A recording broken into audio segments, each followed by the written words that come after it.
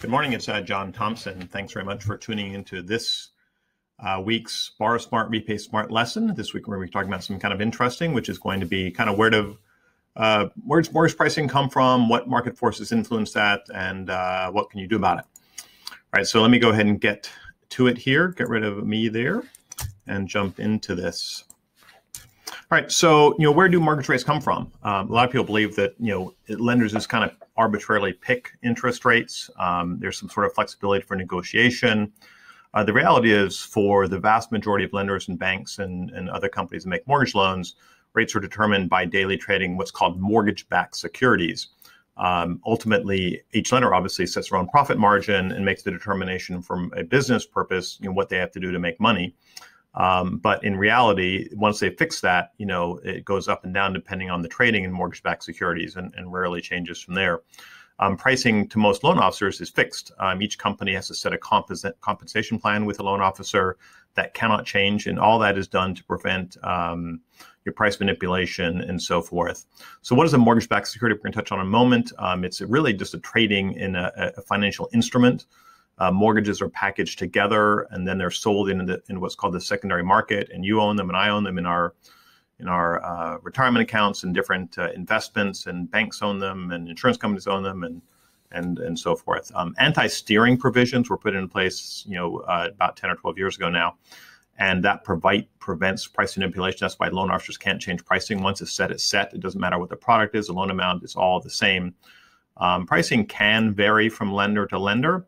Um, and that's because the margin they set, and we'll kind of talk a little bit more about that. So how does it kind of work? So this chart, though, with, uh, with those are all called Japanese candlesticks, these little thingies here, and each one of those little bars represents the day's trading.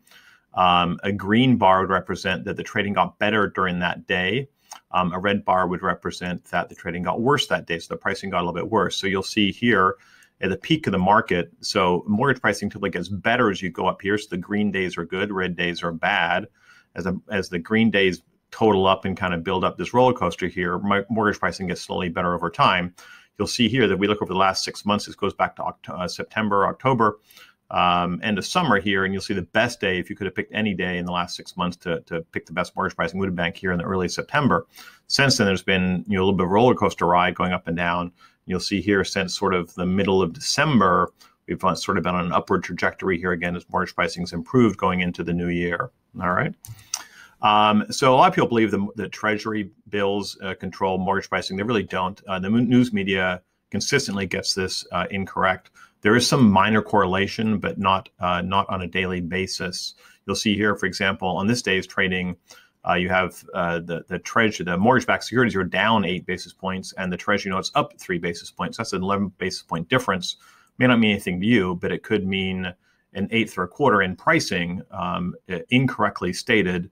Um, so again, the Treasury oftentimes does move in the same direction as mortgage-backed securities, but the reality is mortgage pricing is set from mortgage-backed securities, so no no direct correlation there.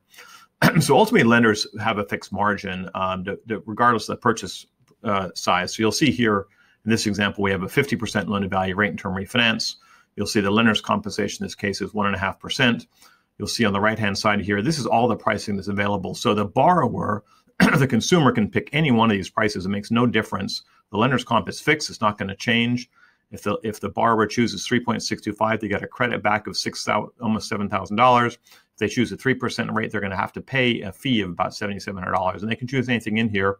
That's up to the advice of a good loan officer to help them determine what's the best financial outcome. This one here on the right is a, a 10% down purchase price You'll see again the comp is fixed here in this example at one and a half percent of the loan amount. Um, and you'll see here again, these are all the choices they have in terms of interest rates. They could choose anything on this pricing, which is called waterfall pricing. Uh, they could choose three and a half, has a cost of twenty three hundred dollars. They could choose three point seven five, has a credit back to them of about twenty two hundred dollars. The lender's comp never changes. Um, it cannot change by law. So, but you know, lenders' pricing does change, and why is that? Because again, of course, there is uh, you know differences in competitive things and overhead and the rest of it. So here's just a very quick snapshot: 1.2 million dollar purchase with 20% down. These are one, two, three, four. There's about eight, ten different lenders here. You know, Union Bank, Wholesale, CMG, Caliber, GMAC, Plaza, big, big nationwide companies. You'll see the pricing varies at the same 3.75 rate across the board here, but different pricing. Some with credits, over here and some with expenses over here. Again, your lender, your, your loan may not fit at every lender, it may only fit at Plaza, for example. In that case, that's the price you get. All right, so that's interesting as well. So again, pricing does vary. Um, a loan officer rarely has control of the margin.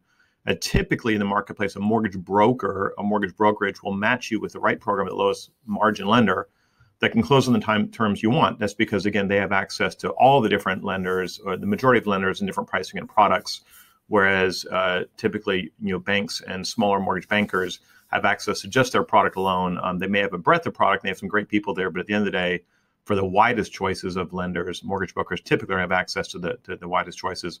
Pricing does change throughout the day. It's just like trading stocks; um, it goes up and down throughout the day.